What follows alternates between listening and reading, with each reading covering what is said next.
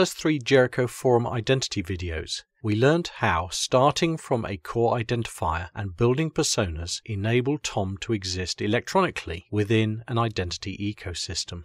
Now we are going to expand that thinking beyond people to look at how exactly the same concepts expand to include all entities that need identity. The Jericho Forum commandments define five entity types people, devices, organizations, code, and agents. So let's look at how Tom and his personas operate in the digital world. Here is Tom, and he's using a laptop which, as a device, needs identity. Potentially, this device is a corporate laptop and therefore will have a corporate laptop persona involving an organization identity. The laptop is running code, and this code needs to be trusted, therefore having both identity and attributes. Finally, agents. In the future, increasingly these will be electronic, but for now, Tom has a personal assistant called Emma, authorized by Tom, remember primacy, to use attributes of some of his persona on his behalf. In this case, Tom's corporate credit card and frequent flyer persona to book some travel on Tom's behalf, but using Emma's identity.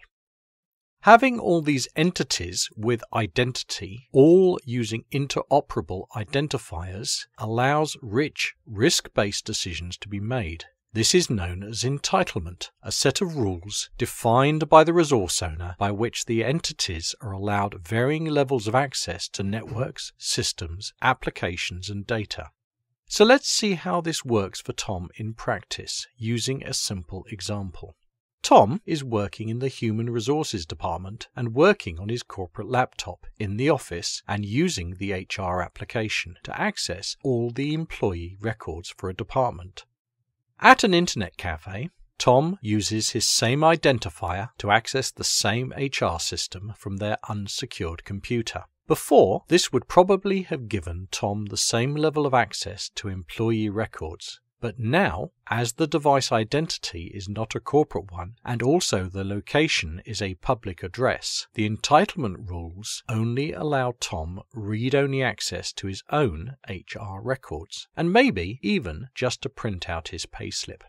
So, in summary, what have we learned about entities? First, identity needs to cover more than just people. It's people, devices, organizations, code, and agents, and needs to encompass all entities in a transaction chain.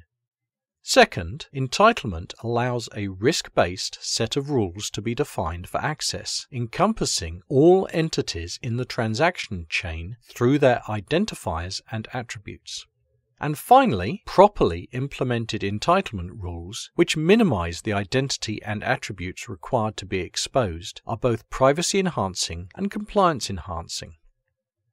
In the final video tutorial, we will look at how all this fits together into a global identity ecosystem and the key problems that still need to be solved.